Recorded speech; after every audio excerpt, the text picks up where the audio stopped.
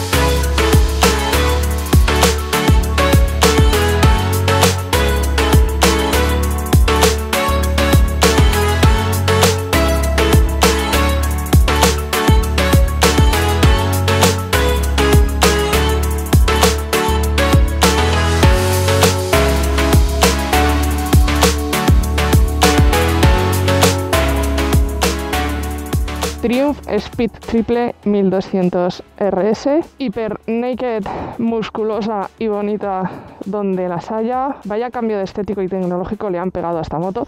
Yo no he probado el modelo anterior, han cambiado muchísimo la moto. Seguramente permanezca esa esencia de la primera Speed Triple. A mí estéticamente la primera vez que vi la moto me alucinó. Creo que tiene un look muchísimo más agresivo, pero oh, madre mía, es que con el monobrazo y ese escape que no es del todo grande, grande, además suena muy bonito, ahora os lo arranco para que lo oigáis, este depósito tan voluminoso, a mí la moto me está pareciendo espectacular. Os voy a contar lo primero de todo, las mejoras respecto al modelo anterior, porque hace nada he subido al canal el vídeo de la Speed Triple RR, que es la hermana deportiva de esta moto deportiva, retro, uh, tiene un carácter muy sport, pero no llega a ser una RRRR de las que conocemos. Tiene una estética muy característica, pero a mí a nivel de conducción me parece una auténtica deportiva. A diferencia de esta, ese modelo llevaba las suspensiones electrónicas, pero estas son unas suspensiones regulables, entre comillas, normales, ¿vale? Son de altísima gama pero esa es la principal diferencia respecto a la Speed Triple RR. Si os apetece ver eso, os dejo aquí a la derecha el vídeo, también os lo dejo en la descripción. Todas las tomas que estoy haciendo con esta moto las estoy haciendo con las cámaras de acción Insta360, de la cual soy embajadora. Y os quería explicar un pequeño detalle que de cara al mundo motero a mí me parece que os va a venir muy bien en el caso de que os interesen este tipo de cámaras. Lo primero, aquí en el casco suelo llevar la Insta360 RS. Muy sencillo, porque llevo este módulo de micrófono y me permite grabaros el audio. Lo bueno de llevarlo aquí en el casco es que puedo regular la inclinación y dependiendo de la moto que lleve, pues lo puedo poner más inclinado o menos inclinado. Eh, las cámaras todas hacen un efecto de giroscopio, entonces a mí me parece que para montar en moto quedan muy chulas. Y luego aquí en el manillar llevo la X2 ¿vale? O X2, como queráis llamarla. En el caso de llevar motos con manillares muy, muy anchos, llevo este soporte que podéis pillar a través del kit motero. Por eso os lo quería comentar, porque estas cámaras de acción tienen kits en función del deporte que tú hagas, porque os trae pegatinas para poner en la moto, este soporte, luego también os trae otros para el casco. Y además, a través de mi enlace, aparte de tener siempre un descuentillo, os suelen regalar algún tipo de accesorio, como en este caso, la mayoría de veces suelen ser unos protectores de lente o un palo selfie, como este que tengo aquí. ¿Cómo lo pongo yo? Pues muy sencillo, a través del kit motero, que lleva un, una fijación universal de rosca, ¿veis? Lo pongo así, lo que me permite enseñaros las tomas tal y como las estáis viendo ahora. El palo se puede alargar, pero por seguridad, como ahora voy a entrar en carretera, no lo voy a hacer. Así que vamos al lío, que con esta moto no quiero perder ni un minuto. Toca contaros cuáles han sido las mejoras de este modelo Speed Triple RS respecto al anterior. Os recuerdo que el primer modelo que nació de la Speed Triple fue en 1994, que os dejo por aquí una foto. Desde entonces ya han pasado diferentes épocas y ha habido varios modelos entre ellos, pues diferentes motores. Pero yo os voy a hablar de la remodelación estética, dinámica, técnica, mecánica de todo tipo que se le ha hecho a esta moto. Empezando por el motor, que es un 1160 centímetros cúbicos, se le ha incrementado la potencia 30 caballos más, dando un total de 180 caballos. El par motor tampoco se han querido quedar cortos y se lo han incrementado también 8 Nm de par, dando una cifra total de 125 Nm de par a 9000 revoluciones. Es una moto que empuja en cualquier momento, pero donde da todo lo que puede dar es a altas revoluciones. También se puede estirar hasta 11.250 revoluciones, es decir, han incrementado 650 y bueno, digamos que esa es la zona roja que tiene la moto. También han disminuido el peso de la moto hasta 10 kilos. Esto es debido a diferentes razones, el chasis que es muchísimo más ligero que el anterior, el motor que tan solo pesa 7 kilos y la batería que incorpora una batería de litio que solamente pesa 2,3 kilos. Pero en total la moto en orden de marcha pesa 198 kilos, consiguiendo ser la Speed Triple que tiene una mejor relación peso de todos los modelos que se han fabricado jamás. Es decir, 198 kilos con 180 caballos, pues o sea, de verdad, es que esto vuela, es, es, el cielo totalmente. También han rediseñado todo lo que son las llantas, el sistema de escape, es la Speed Triple que tiene el sonido más tricilíndrico y atronador que vais a poder escuchar, a pesar de ser un Euro 5 y ser de serie, o sea, eh, suena de escándalo la moto. A nivel de iluminación es full LED con faro diurno. El faro sin duda es una de las cosas que más llaman la atención, ha cambiado completamente.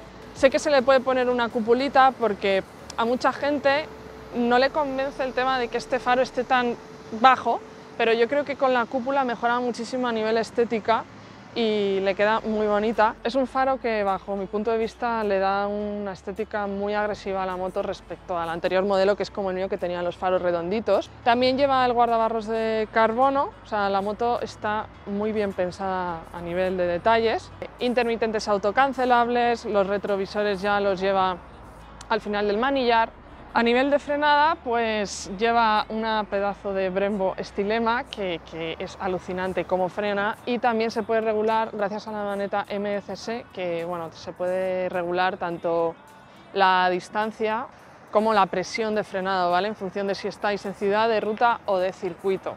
La tapa del colín de serie. A nivel de ergonomía, la moto la han cambiado bastante por dos razones. La primera razón es que han incrementado el manillar 18 milímetros, por lo tanto es más ancho, tiene una postura de conducción muy de ataque, muy hecha para adelante. Y luego las estriberas también las han echado un poquito hacia atrás, o sea, son muy deportivas. voy a subir para que lo veáis.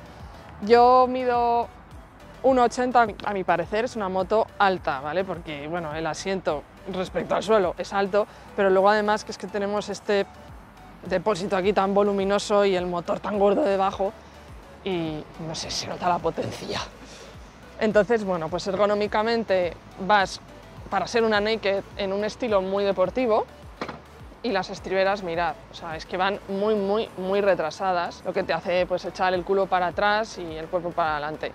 A mí es una postura de conducción que me encanta porque por un lado es muy cómodo, es una naked y no es, a diferencia de la Speed Triple RR que acabo de probar, pues es una moto mucho más cómoda para hacerla muchísimos más kilómetros, pero por otro lado, dentro de lo que son las naked, lleva el manillar bastante bajo y ancho, o sea, no es una naked con la que vayas en plan turismo. A diferencia de su nueva hermana, la Speed Triple RR, esta moto lleva unas suspensiones All-ins completamente regulables, tanto delanteras como traseras, precarga, extensión y compresión. Estas suspensiones son para un usuario que busca un uso más polivalente, lo otro era una deportividad extrema. El portamatrículas también lo han rediseñado. A mí estéticamente no me convence porque los portamatrículas en todas las motos deberían de ser más cortos y luego de serie lleva las Metzeler Race Tech RR que son la gama deportiva de Metzeler, que se puede dar un uso combinado en calle y en circuito, a mí me están gustando bastante. Y luego para circuito sé que se le pueden poner las Pirelli, la Supercorsa SC, está la moto preparada para ellas. Perdón, me he equivocado, he dicho que el rango máximo era 11.250 y son 11.150 revoluciones.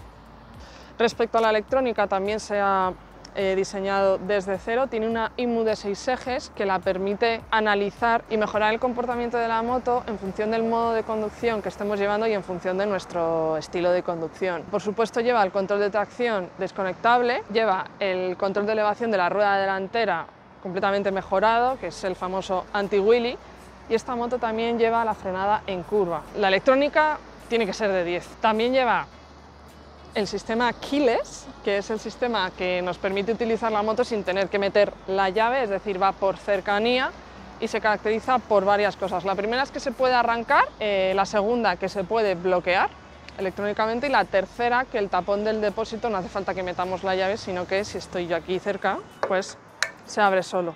¿Vale? Cuesta un poquito cerrarlo, hay que darle ahí un toquecito, pero es perfecto, encaja todo a la perfección. Tiene cinco modos de conducción completamente configurables cada uno de ellos. Podemos configurar dentro de cada uno de ellos el ABS y el control de tracción. Entonces es el modo Rain, que reduce la potencia a 100 caballos, Road Sport, el Track, que es para circuito, y el último que es el Rider, que es el personalizable. La pantalla es de TFT de 5 pulgadas. Es una interfaz súper moderno, a mí me gusta bastante. No os lo voy a volver a enseñar entero porque es que os lo acabo de enseñar en la Speed Triple RR y es exactamente igual, lo único que en la Speed Triple RR tiene toda la parte de la configuración de la suspensión electrónica y esta no, ¿vale? Pero bueno, digamos que a través de la interfaz podemos configurar todo lo que es la electrónica en función del modo de conducción, eh, el cronómetro en el caso de que queramos entrar en circuito y podemos configurar la moto a nivel Bluetooth, es decir, tiene el sistema de conectividad My Triumph que nos permite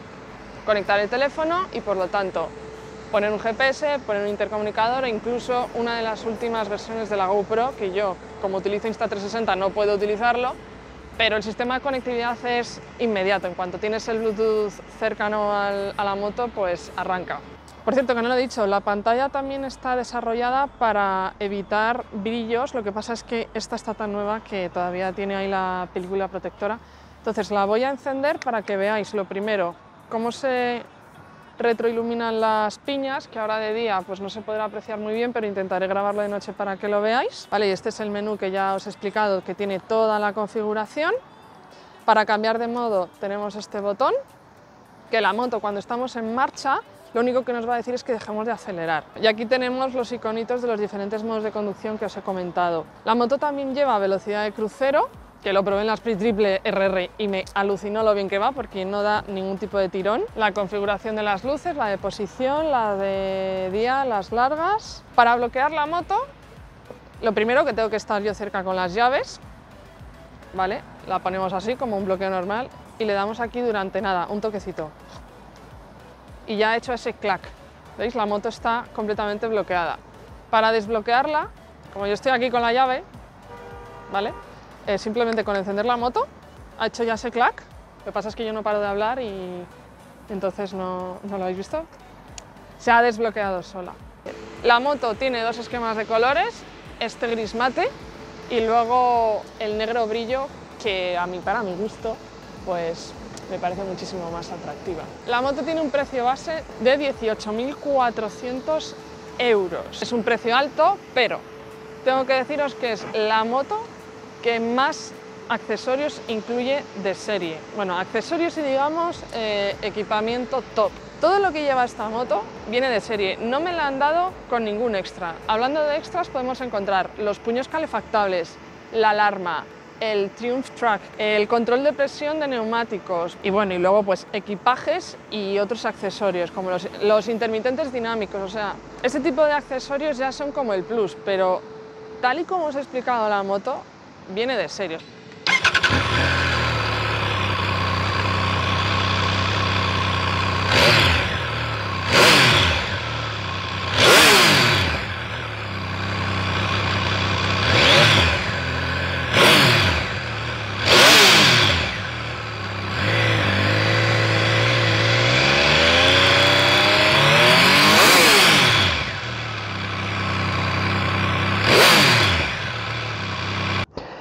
Preguntaréis que por qué están aquí las dos, porque está ahí mi moto y por qué está- Bueno, pues que hoy me acompaña Juanillo,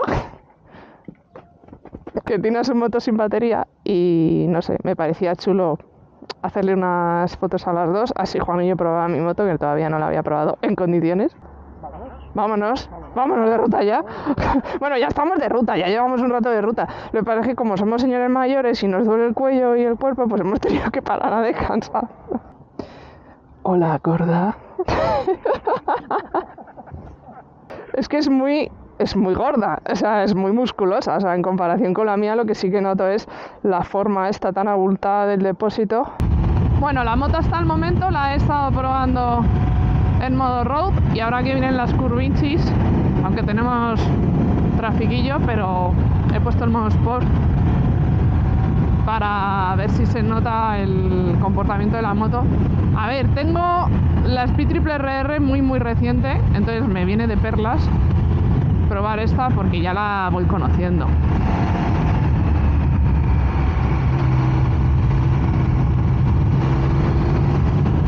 ¡Vamos, Juanillo!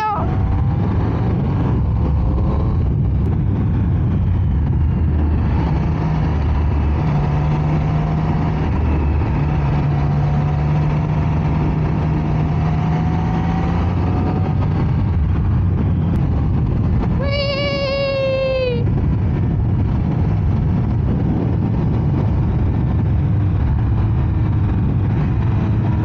Buah, lo del quick shifter en esta generación es too much, ¿eh? Que por cierto, se me olvida comentarlo en, en las mejoras.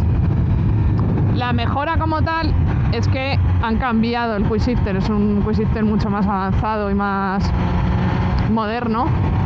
El anterior modelo sí que lo llevaba, pero este ya os digo que está completamente renovado. Y yo lo que creo es que con estas nuevas generaciones de Quick Shifter, aunque están preparados para poder, o sea, perdón, aunque están preparados, como su propio nombre indica, cambio rápido, para utilizarlo a altas vueltas, en estos más modernos yo creo que sí que ya van estando preparados para usarlos pues un poquito más abajo. Yo no lo recomiendo, no creo que sea bueno para la caja de cambios. La moto tiene una postura de conducción bestial, muy agresiva. Yo ahora que estoy muy flojita, pues enseguida lo noto en el cuello y en los brazos.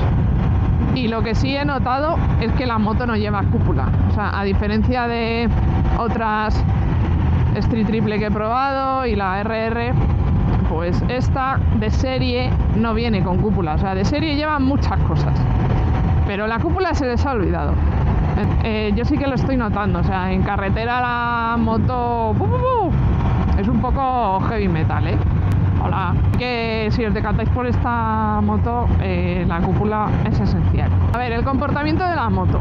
La moto frena de escándalo, frena muy bien, se clava. Además se puede regular en todos los sentidos. El ABS no es nada intrusivo, o sea, funciona muy bien. Tiene el ABS en curva, cosa que no he probado, pero bueno, le da un plus a la seguridad. De lo que es peso, chasis, suspensiones, la moto es súper ágil y es súper manejable. En parado cuesta un poquito porque bueno, ya va siendo un motor grande de casi 1200 centímetros cúbicos y además es una moto alta y es anchota, o sea, como os digo, tiene un depósito como muy bruto, ¿no? En parado se puede manejar sin problemas, pero yo creo que si tienes una altura tirando a persona bajita, pues a lo mejor os puede costar un poquito. Además el manillar, aunque es muy ancho y tiene buen radio de giro, pero no tiene un radio de giro muy amplio como puede ser, a ver, una moto que haya probado yo, pues una super, uy, una super Duke, que digo, pues una Duque de 790, que esa moto sí que gira mucho. La gama de Naked de Triumph creo que como tienen un carácter muy deportivo, pues no, vamos, su punto fuerte no es el radio de giro de la moto. Y luego en lo que es en marcha, pues es todo lo contrario, porque la moto se mete en curva que da gusto, los bestsellers que lleva de serie me están gustando mucho, pero me gustan más los Diablo Rosso 4 Cosa que llevo en la, en la mía. Es que no es por echarle flores a esas ruedas, es que, es que son las mejores ruedas que he probado. Estoy encantada con ellas. Y estas bestseller que lleva se nota que son muy deportivas. Estamos teniendo suerte y nos está haciendo calor, entonces el comportamiento en verano no sé cómo irán. Pero bueno, a mí, para calle sí que me han gustado. De momento me han dado más confianza que una Super Corsa. Luego, por los retrovisores se ven bien, se ven fenomenal, no vibran nada. ¡Ay! Hola. Fina, esa es fina. Bueno, pues el motor es una delicia, pero a la vez es una salvajada, porque 180 caballos son muchos caballos. Es una moto que se nota que está tecnológicamente muy avanzada, o sea, lo que es la electrónica es una pasada, la moto va perfecta. Vamos, en ese sentido va perfecta. No me ha hecho ni un ni un feo, o sea, es que es bestial. ¡Uy! y el motor estira muchísimo, eh, corre muchísimo, puedo deciros que es el motor que he probado que, que más anda, eso sin dudarlo. Y lo único que sí que he notado, que entiendo que es por la potencia barra tamaño del motor, es que sí que tiene más vibraciones que por ejemplo el 765 de Triumph. Pero yo creo que eso es algo natural, o sea, mecánicamente creo que es algo normal, ¿no? Al final tiene muchísima más potencia y todo tiene que trabajar a un mayor nivel. Es que siempre lo digo, los motores tricilíndricos tienen una mezcla entre bicilíndrico y tetracilíndrico. Tienen la parte abajo de diversión del bicilíndrico y luego tienen la parte tetracilíndrica arriba y la suavidad del tetracilíndrico. Pero son como muy vivas, o sea, son motores súper divertidos y que creo que te lo puedes pasar bien con ellos a cualquier rango. Las luces las probé ayer por la noche y bueno, estos faros ya los había probado en la R y en la, en la nueva S. Los faros se ven, vamos, que flipas. Lo único que en las cortas solamente se ilumina un faro y luego las diurnas, entonces la moto se queda bizca. La moto también tiene basculante monobrazo, lo que influye en el comportamiento, sobre todo a la hora de ir muy rápido con ella, pero es que yo creo que está tan perfectamente diseñada que no, no lo notas. Ay, bueno, hora de volver. Bueno, iba a decir volver a casa, ¿qué va? Vamos a comer. Que la moto sale sola. El embrague asistido es un pasote. ¿eh? Bueno, pues a ver. Voy a empezar por las cosas que yo mejoraría en esta moto. Como siempre digo, son pocas. El cambio va muy bien, pero me pareció que iba más fino en la RR. No sé si es porque esta moto a lo mejor la han metido en circuito la han metido mucha caña, no lo sé. Pero me ha costado más meter el punto muerto, entonces ya os digo, a lo mejor es algo de esta unidad o que es así. Vamos, que va fenomenal. ¡Vamos, Juanillo! Juanillo que me va tumbando la perla. ¡Vamos, Juanillo! ¡Que te pillo!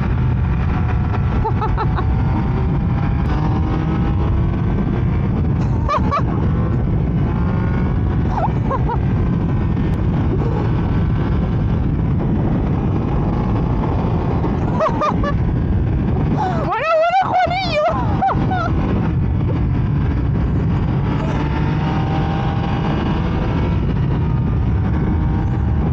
Y luego de las cosas que más me han gustado, brrr, sin duda las sensaciones del motor.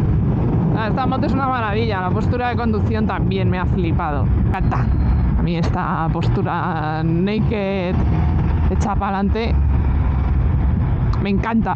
Me gusta mucho la polivalencia que tienen este tipo de motos también, porque yo, por ejemplo, con la mía he viajado y poniéndole unas alforjas, una bolsita sobre depósito, es que, a ver, vas fenomenal y puedes hacer kilómetros y kilómetros con ella. Son motos muy dulces.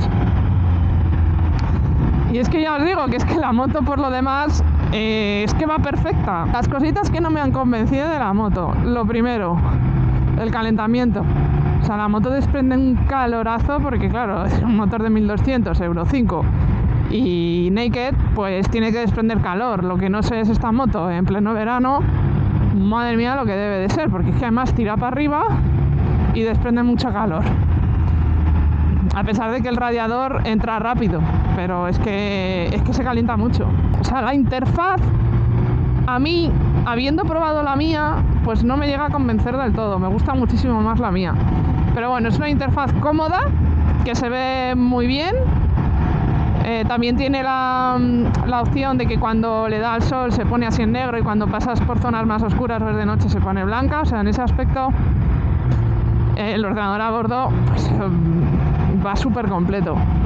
Pero a mí de lo que es estéticamente y funcionalmente me gusta más el modelo anterior. Y por último, el Quick Shifter me ha parecido una maravilla. El cambio pues va muy bien, pero comparándola con la RR que probé la última vez, pues me ha parecido como que va un poco raro, sobre todo el punto neutro. No sé si es porque le han metido demasiado caña. De- ay, perdón, no sé si porque le han metido demasiada caña, porque es una moto de prensa, la habrán metido en circuito, no lo sé. Pero no sé, no va tan tan tan fino como el de la RR, pero ya os digo, puede ser un tema de esta unidad. Y de las cosas que me han flipado, o sea, no digo me gustado, digo flipado, porque es que es así, pues todo lo demás. La moto va súper bien equipada, frena bien, corre muchísimo, es una moto muy equilibrada, es sensacional, o sea, lo que más me ha gustado son las sensaciones que transmite.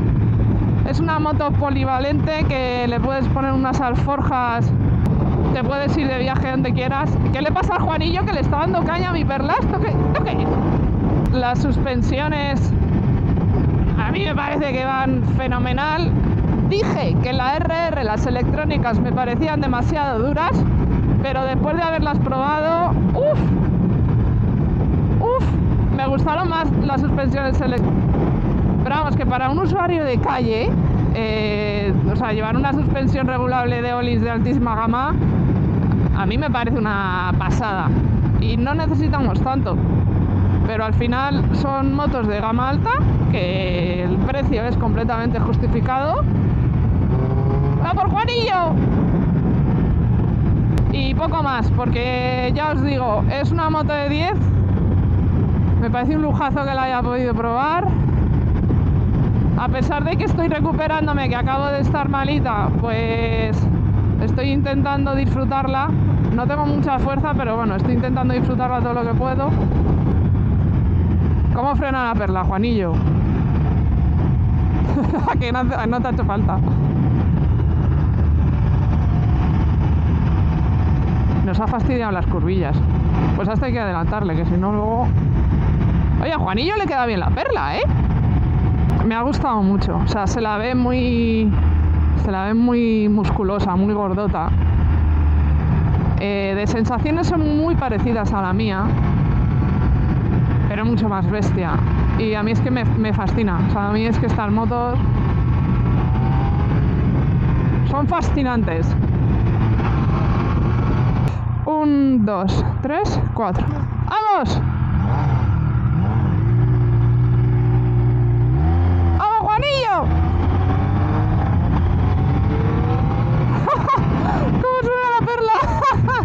Tiene un sonido muy bonito esta moto. Se lo han currado bastante. ¡Curvote, Juanillo!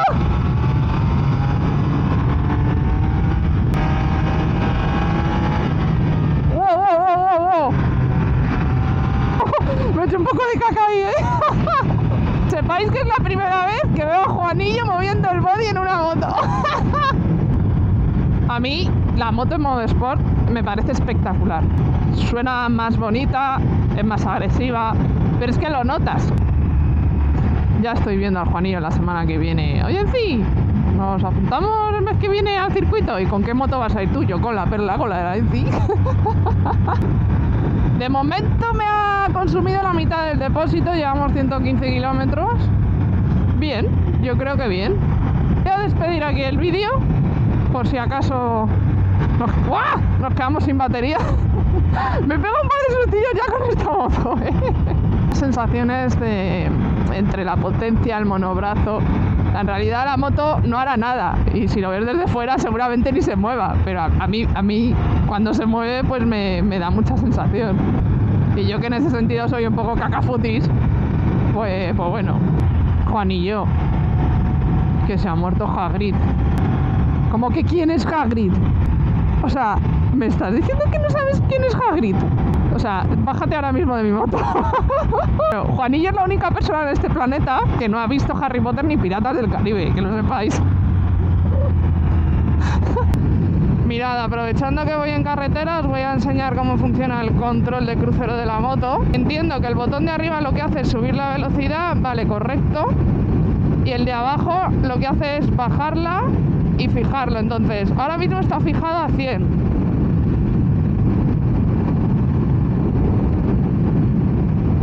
Si suelto la mano del acelerador, como veis, se queda fijo.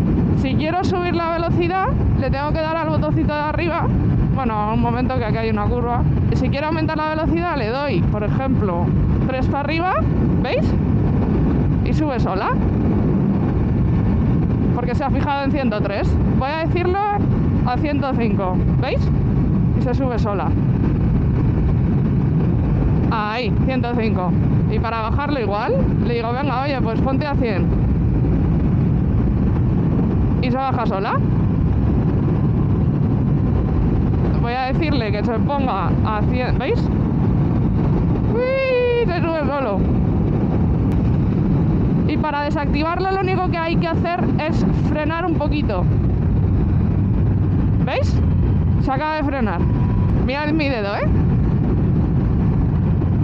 Ya ahí se ha desactivado, ¿veis? Y ya está.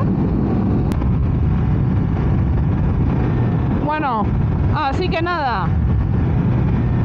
Espero que os haya gustado el vídeo, que os hayáis divertido igual o más que Juanillo y yo. Un besito y nos vemos en el siguiente vídeo. Adiós, adiós, adiós, adiós. adiós, adiós. Adiós, adiós.